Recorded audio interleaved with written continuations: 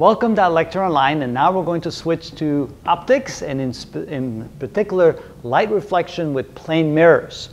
Now the reason why I'm adding a few more videos on this is because I've noticed on my own students when I teach optics have a really tough time dealing with how to calculate the angles of reflection and the direction of the reflected light, especially when the angles are not perpendicular, when we have other than 90 degree angles. So we're going to start out with a fairly easy, straightforward problem where indeed the angle right here is 90 degrees. So this is a mirror, this is a mirror. We have a ray coming in at an angle of 50 degrees relative to the mirror itself. Not to the perpendicular of the mirror, but to the mirror. So we have to be careful because when we deal with reflection, we know that the angle of incidence, or I should say the angle of reflection, is always equal to the angle of incidence, but that angle is relative to the normal of the mirror, the normal of the plane of the mirror, not the angle relative to the mirror. So we have to be careful of that.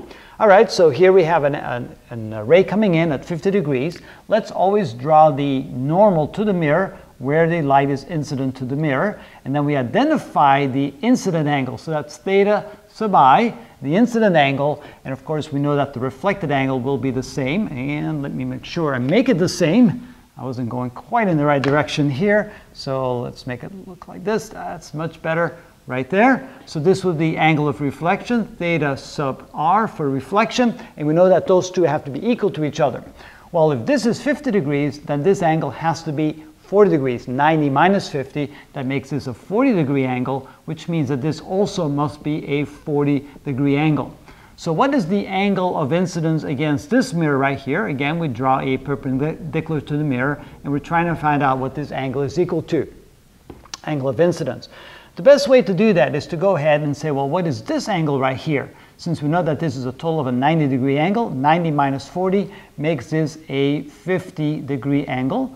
We know that this is a right angle, or 90 degrees, and we know that the sums of the angles of a triangle add up to 180, which means that this angle here has to be 180 minus 90 minus 50. So 180 minus 90 minus 50 degrees, which is 40 degrees, which makes this angle a 40 degree angle, which makes this angle therefore a 50 degree angle because the two add up to 90. So this is a 50 degree angle, which means that the reflected beam right here will have an angle of reflection over here of 50 degrees, which means that the exiting angle has an angle of 50 degrees above the horizontal.